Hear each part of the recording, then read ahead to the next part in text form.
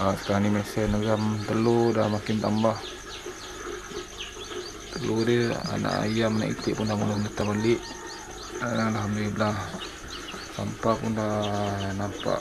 Berapa berakhir dah reda sikit. Syukur harga mula membiak ni. Okay. untuk mesin neram yang berjumlah 70 biji bawah okay, kat bawah ni pun sama juga.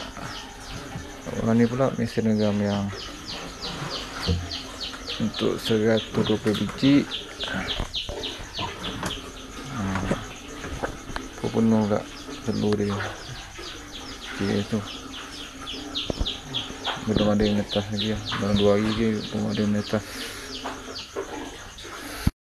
hmm, penuh dengan telur je. Ok lah tu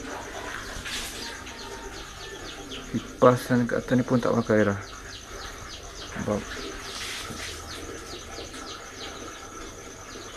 elektrik tak lah. Ini besok lagi dia 3-4 hari esok yang penuh dengan anak ayam ni. Ni untuk kapasiti 120 biji